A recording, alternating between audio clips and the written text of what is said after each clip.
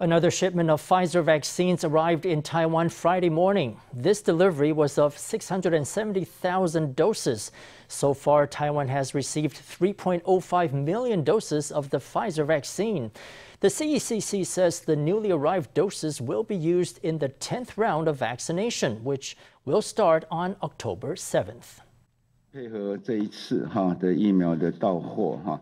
所以我们在第十期本来是供第二剂的 A G 哈及高端的疫苗。We are making adjustments because of this new shipment.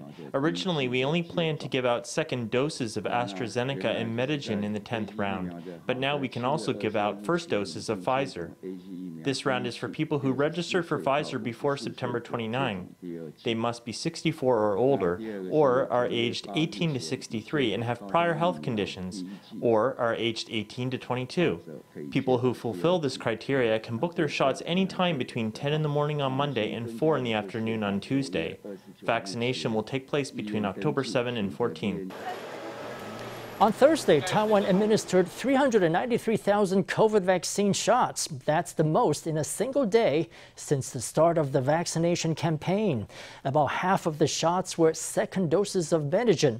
The rest were first shots of Pfizer, second shots of Moderna, and second shots of AstraZeneca.